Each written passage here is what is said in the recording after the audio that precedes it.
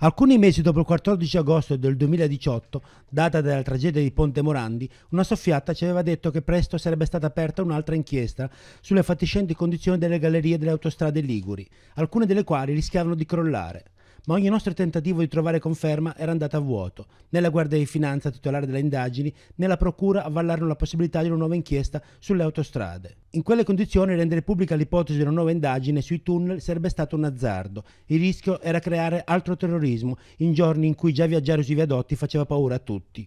Passa circa un anno, siamo al 30 dicembre del 2019, quando le volte della galleria Bertè sulla A26 fra Genova e Alessandria cedono investendo un'auto crollo che accade proprio mentre i vertici di Autostrade per l'Italia sono nella sede della Regione Liguria per rassicurare sulla sicurezza delle autostrade.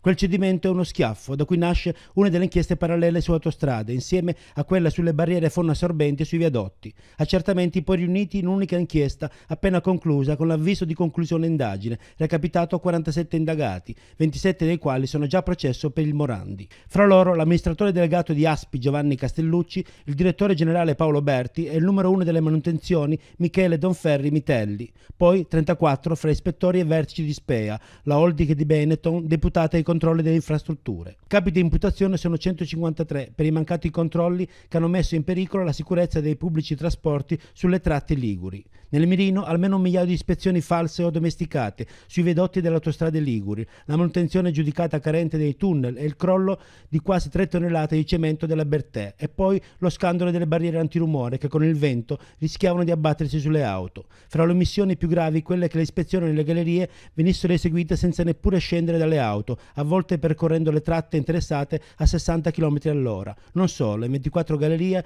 della rete Ligure le ispezioni non sono mai state svolte.